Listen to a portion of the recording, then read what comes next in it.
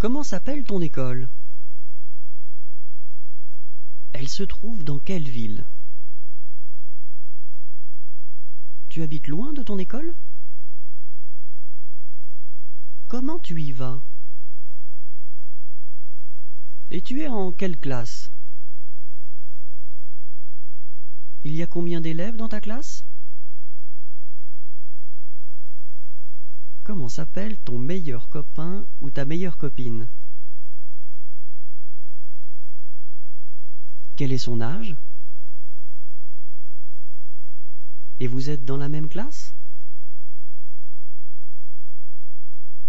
Tu aimes aller à l'école? Quelle est ta matière préférée?